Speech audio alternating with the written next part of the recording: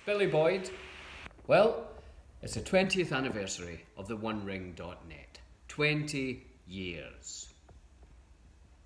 I can remember going on it probably in its first week to find out who else was cast in the Lord of the Rings films. And over the years, there's been some great parties, Oscar parties, and get togethers, and, and wonderful things. The best fan base in the world, the Tolkien fan base, all centred around the OneRing.net. 20 years. Happy anniversary. Here's to the next 20. All the best.